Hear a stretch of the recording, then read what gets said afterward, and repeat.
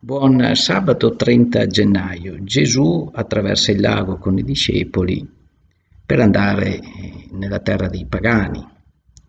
Continua il suo cammino sulla strada della salvezza e dorme a popa mentre la tempesta intimorisce i discepoli, i quali lo scuotono, lo svegliano e Gesù si irrita, comanda alla tempesta e alle acque di calmarsi.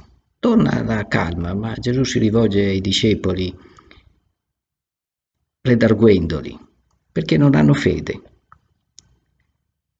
E questo è un invito che è rivolto a tutti noi, presi a volte dai marosi della tempesta esistenziale che ci circonda, dimostriamo ogni giorno di non credere di essere sulla stessa barca e di essere guidati dalla fede in Gesù, che è parola che salva, indipendentemente dalle condizioni che ci troviamo a vivere. Questa fede non è una fede cieca, è una fede ragionevole, intrisa di mistero certamente, ma alla quale dobbiamo imparare ad affidarci per vivere autenticamente nella sobrietà, nella dimensione dell'amore anche nelle condizioni più difficili dell'esistenza, anche nelle condizioni che sembrano in qualche maniera consegnarci all'abbandono. Abbandoniamoci invece alla fede autentica e ascoltiamo